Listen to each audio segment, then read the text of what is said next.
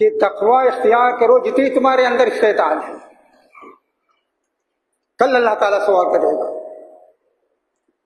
कि मुझे बताओ, क्या चीज़ तुम्हारी इस्तेदाद में थी और क्या चीज़ नहीं थी? मेरे दोस्तों, सबके दरमियान खड़ा करके पूछेगा, क्या चीज़ तुम्हारी इस्तेदाद में थी? क्या चीज़ तुम्हारी ताकत से बाहर थी? क्या हम कह सकेंगे?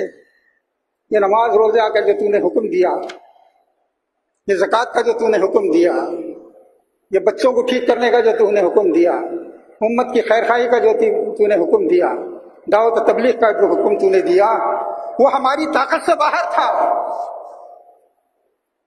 क्या अल्लाह नहीं जानता कि कौन सी चीज़ आपकी ताकत में है और कौन सी चीज़ आपकी ताकत से बाहर